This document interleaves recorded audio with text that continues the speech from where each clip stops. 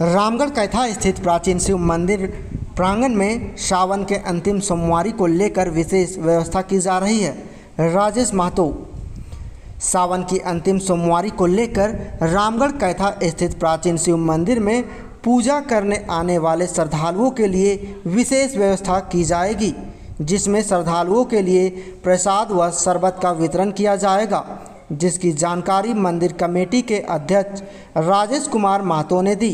इस दौरान मौके पर अमित कुमार, विशाल सिंह, राठौर गिरीश कुमार सहित कई लोग उपस्थित थे। इस वर्ष के सावन माह के आखिरी सोमवारी के उपलक्ष्य में कमेटी के द्वारा हम लोग विशेष मंदिर का जो दरबार है, उसको फूल से, माला से सजाने का कार्यक्रम रखे हैं।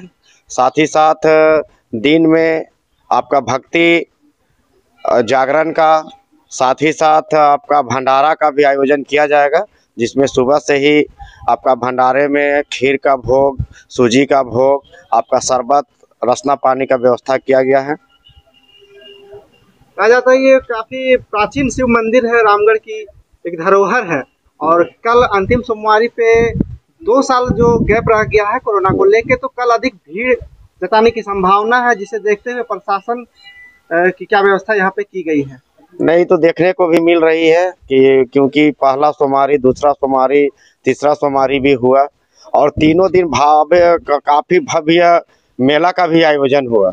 मेले के रूप में श्रद्धालु दिखे और मंदिर में भी काफ़ी भीड़ रहा, हम लोग कमेटी की ओर से कोशिश रहता है कि किसी भी श्रद्धालु को दिक्कत ना हो। उसके लिए हम लोगों ने पूरा सुरक्षा का व्यवस्था रखे हुए हैं और इस बार हम लोग जिला प्रशासन को भी लिखित सूचना दे रहे हैं कि यहाँ पे सुरक्षा बहाल हेतु अपना जो जवान है यहाँ पे भेजे ताकि हम लोग को भीड़ को कंट्रोल करने में दिक्कत ना हो। बाकी सारी तैयारी हो ही रही है और और वर्ष के अपेक्षा इस वर्ष बहुत ही अच्छा मेला सावनी मेला का आयोजन किया जाएगा।